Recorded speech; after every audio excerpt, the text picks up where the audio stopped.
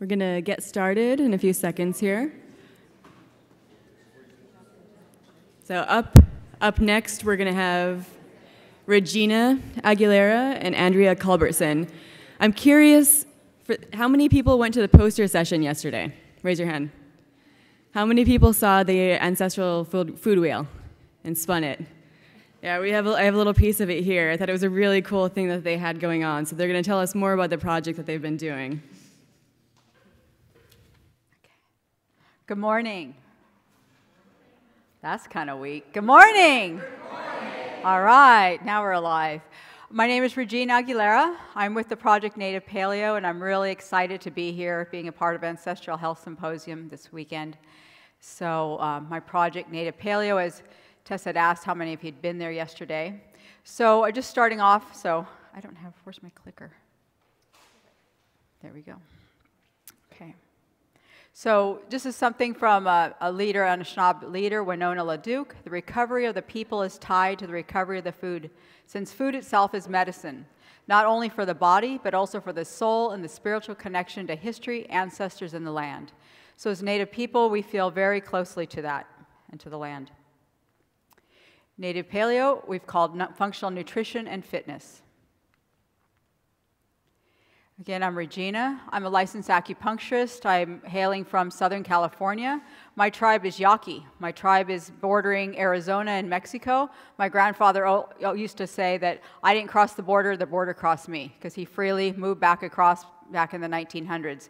Andy, Andy Culbertson, sitting here to my right, uh, she's also very much a component of Native Paleo. She's helped with a lot of the artistic design, collaborator, and just a colleague as mine, so I'm really excited to have her here with me today. Uh, she, she did the poster presentation and does beautiful artwork and has a, a registered dietitian as well. So again, so many, many of you saw our ancestral our poster session yesterday. So again, how many of you spun that wheel? A few of you spun that wheel. Anybody get a poster? Got a few posters? Okay, great. Again, that was our sister talk getting ready for us today. So thinking about local foods, I'd like to have a little audience participation to get us started. How many of you have eaten a food, an ancestral food, a pre contact, pre agricultural food from the area where you lived? If you have, please stand up.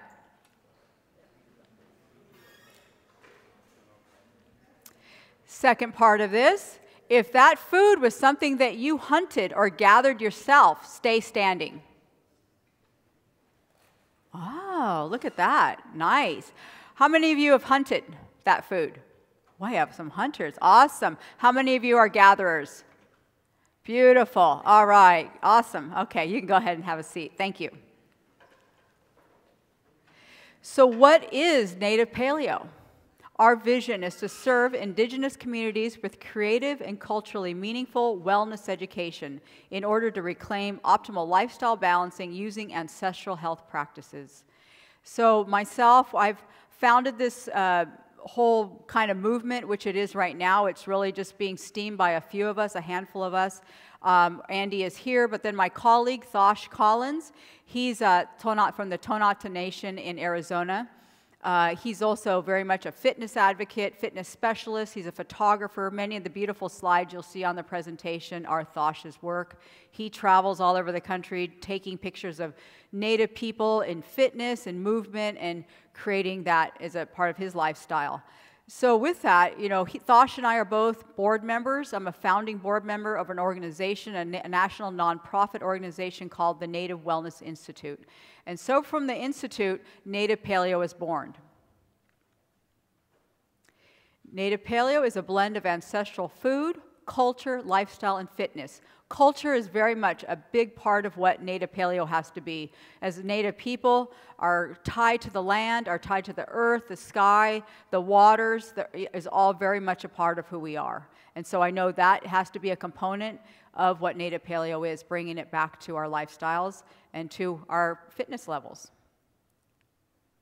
So just thinking back, ancestral food. What is ancestral food? Food that is on the earth, things that were here before pre contact, before as Native people lived on this earth, on this continent, throughout from South America all the way up to the tip of Alaska. What kinds of foods were there? We see dried hanging meat, coming from the buffalo. I have many friends and you know neighboring tribes that also are still hunting and going out and getting the buffalo, gathering, getting berries, getting fruits, as some of you shared that you're doing as well.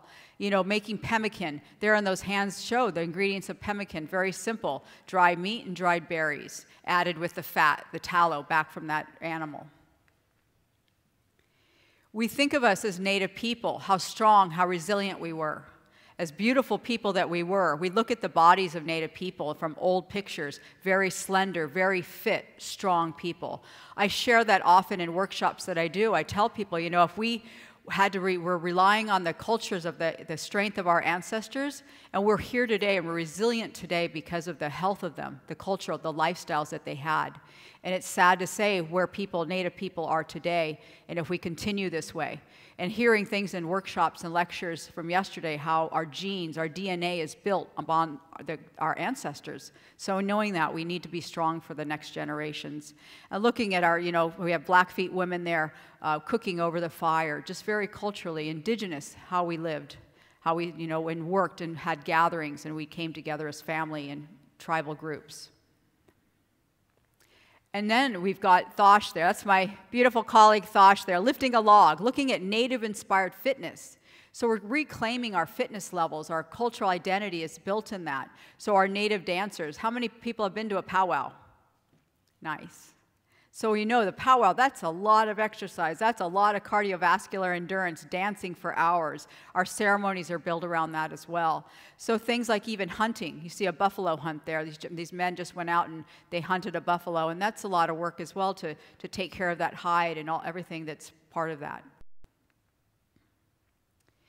So again, as I said, I'm part of Native Wellness Institute, our nonprofit organization. Uh, Native Paleo began as a branch, or we're a sister organization of Native Wellness Institute. I'm a founding board member. We were founded in 2000, and we serve tribal nations all throughout the United States as well as Canada.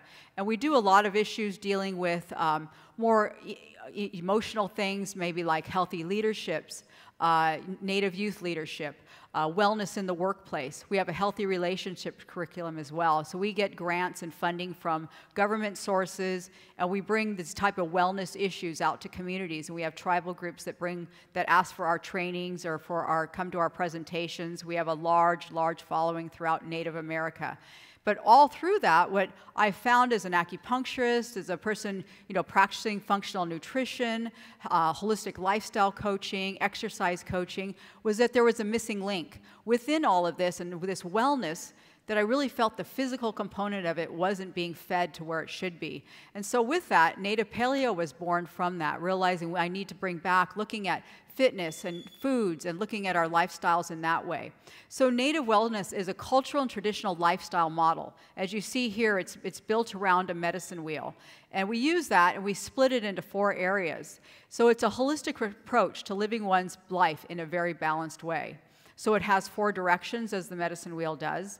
It's about choice and personal growth. And I always like to say is that our wellness, and this wellness model is very much a proactive model to bring back our health. So we know it's very holistic, it's in a circle. As Native people, we often sit in a circle. We do ceremonies in a circle. The circle tells us about evolving, about connection, and then there's no beginning and no end. So, looking at this circle, we see the four quadrants emotional, spiritual, mental, and physical. So, in each of those, we look at what, where is our wellness at? And we can all use this as a tool to look at emotionally. You know, are we balanced there? Are we expressing emotion? Are we having a high self esteem? Are we sharing with each other? How positive are we are each day? So, spiritual connection is also very much a part of native wellness. It has to be there. We often see body, mind, and spirit, but how many of us actually think of spirit and that spiritual connection we have to the earth and to ourself? It's about faith, it's a connection, as we often say to Creator as well. Physical, that was the area where I felt like we had a lot of things daily fitness, breathing, sleeping, all as a part of that physical model. Um, and then mental you know, how are we thinking? Are we feeding our brain? Are we taking care of ourselves? So again, that's kind of the, the base of what Native Wellness is about and what we share with communities. And Native Paleo is just becoming a part of that as well.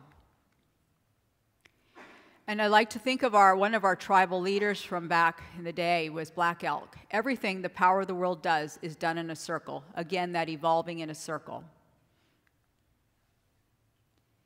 So we know as explorers came and they found native people on this earth, they found it on this land here, that we have explorers who said they noted the agility of the women is so great. They can swim over great rivers, bearing their children upon one of their arms.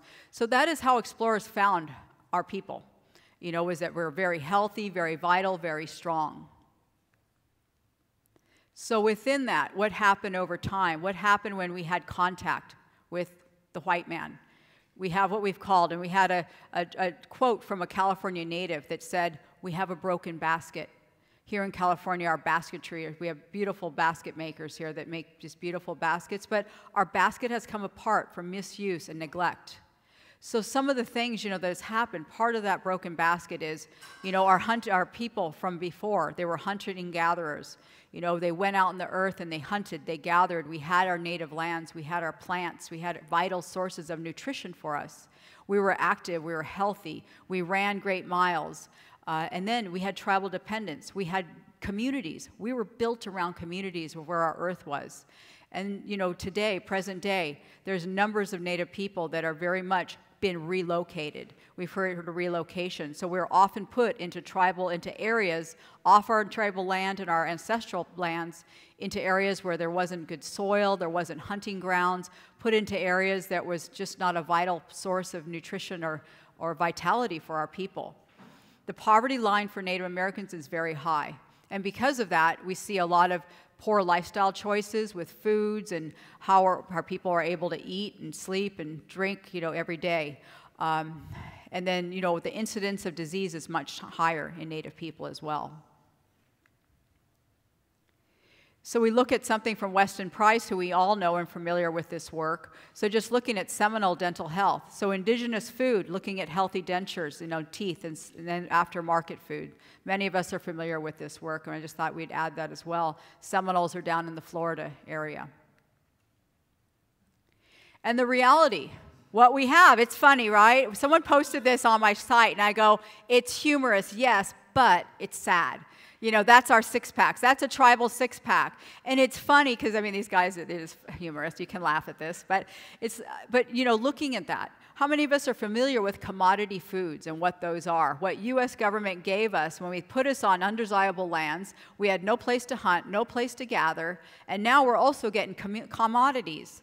Commodities are still alive and well, and people are very proud of their monthly source of food sources. As you can see in the picture, they're all carbohydrates. They're all poor sources of nutrition.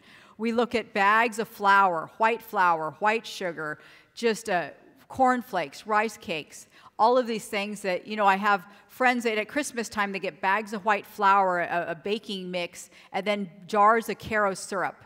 That's for their pancakes. So it's no doubt that the reality, this COMMODBOD, is, is a sad reality because we're really looking at, you know, how people are eating and drinking. So that's like our biggest thing is cleaning up diets, taking away processed food, taking away sugars, taking away flours. And it's a journey, that's for sure.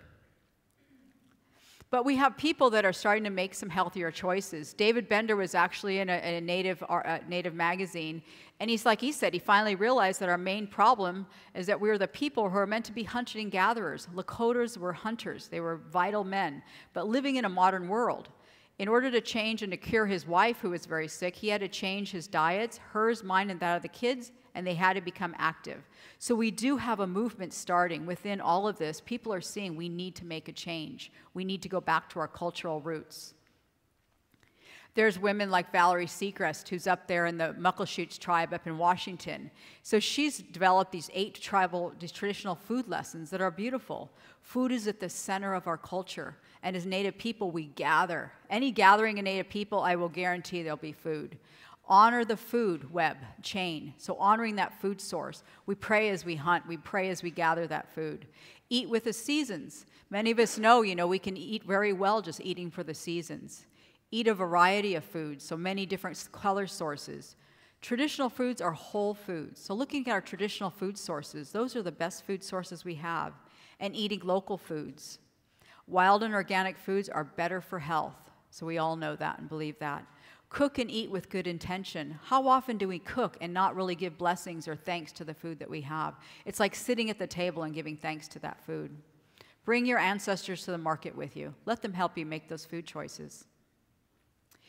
And Native Paleo was brought out through all of this movement and looking at where do we start? Where do we get a good start? So, kind of jumping onto the whole paleo primal food movement, ancestral health. Uh, so, Andy and I, she's been really help, a big helping with um, collaborating and giving me a lot of power and steam with this, and just being my my uh, backbone throughout all this as well. Is like we started a Facebook page. Right now, I think I have over 2,040 people on there. They're Native people throughout all over U.S. and Canada, and it's really exciting because we get new things happening all the time. Our uh, face, our website went live last um, month, so we've got nativepaleo.com as well. So that's really exciting. The goal is to be fit and healthy. There's Thosh again. I mean, a perfect example of a healthy young man, you know, lifting weights. These pictures as well was a native paleo um, seminar that I held in San Diego last December. So we had people outside doing functional fitness. We were testing, we were showing doing squats, we were doing sit-ups, holding planks, you know, doing things to be very fit, to see how fit we were, gauging that, and then also talking about nutrition and how do we look at healthy lifestyles. And this is Nathan. Nathan is a, uh, an elder. He's Elem. He's from uh, up in the North Bay area. And he, he is a video that we did of him. So we go ahead and show just a minute or half second of this. He's a Pomo so tribal thank you, Nathan, leader. for being here. really appreciate your, your contribution here. Um, so please describe your tribe and how you came to this way of eating. Uh, my tribe is, they're, they're, the Pomo people from Lake County, Northern California. They live on the edge of the, the east side of the lake, known as the Water People. Um, my way of eating um, traditional ways is realizing that for my health and my life, that I will live a long time for my people. So, what changes have you seen within yourself since you started eating a native paleo way? The native paleo way has taught me that the way I feel right now inside is I have the energy, I have more wind in running, um, more preparation for ceremonies. Um, right now I feel good, I feel healthy, I feel strong. You know, from the past I was overweight, lazy, no energy, no strength, cannot fulfill my ceremonies and so on because I just didn't have it. Thank you. And I'm going to add something in here. Would you share with us um, the Biggest Loser competition at your work? And I want to say too, so his interviews on our website. Nathan was part of a Biggest Loser campaign on his, in his tribe and through their uh, community health department he lost over 47 pounds in just a very short time, just completely changing his diet. Eating healthier, eating a native paleo type diet as we know it. So that was like a huge, you know, kudos to him and where he was. So, some things that we have in the horizon. So, we have our online interactive food medicine wheel for each tribe that we have on our website so that tribes can go on and start naming what are their traditional superfoods, what do they have in their area. Then we have our tribal superfoods, that's part of our campaign. We are looking for funding for trainings for tribes and groups without funds and creating more of an online presence. You know, I would like to create more blogs and pieces, um, just looking at what we have out there in the greater, I'm just trying to be a part of the greater paleo primal community. And also mass distribution of our ancestral food wheel posters. So if you have those posters, if we can get them into the hands of people that could share them with tribal communities in your area, that'd be awesome. Turning them on to native paleo. So there's our beautiful food wheel. We're going to have a table out front by registration so that you could, you know, purchase these and they're all just going donating back to the funds for native paleo. And just again, the tribal superfoods, just based on looking at scientific data that shows the nutrient composition of selected traditional foods, how much richer they were and nutritionally vital they were for our people because they're from the land from where we're living. And I'm asking you, what are your local tribe superfoods? What do you eat in your area? What are those foods that you're gathering, hunting, you know, that you have? Those foods that are vital to your health. And to finish, I just wanted to dedicate this, this prayer that Marietta King, she's Blackfeet, what she said. So if we can, And just look at this. This is a prayer and dedication to Native people, First Nations, and Indigenous people everywhere. May we live in joy, humbleness, compassion, wisdom, and companionship, with a dancing heart and the fullness of love that is driven by our strength and courage. For our children's children yet to be born, that we shall be free of disease and stand in good health in our heart, soul, mind, and physical body. Thank you so much. Aho. Thank you.